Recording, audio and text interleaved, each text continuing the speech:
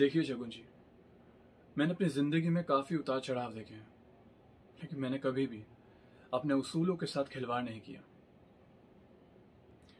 बाबा के जाने के बाद ऐसे ही परवरिश आईने और मैंने मिलकर रिया को दी है। हमारा मानना यह है कि भले ही हमारी कमाई थोड़ी कम हो, लेकिन हम ज़िंदगी में जो भी करें, ईमानदारी से करें और सुकून हो। मैं अपनी बहन के लिए भी एक ऐसा ही लड़का ढूंढ रहा हूँ। जो उसे बड़े प्यार से रखे और उन दोनों के जीवन में सुकून हो।